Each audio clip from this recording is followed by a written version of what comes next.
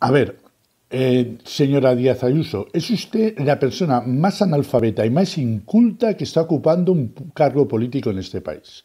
Al presidente Torras, al presidente Torras de la Generalitat de Cataluña, que no es santo de mi devoción, nadie le ha montado un piso ni un apartamento.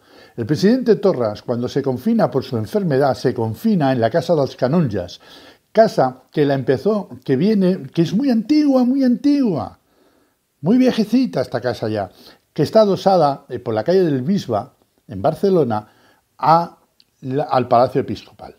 La casa de los el primero que fue a vivir allí fue el presidente Maciá.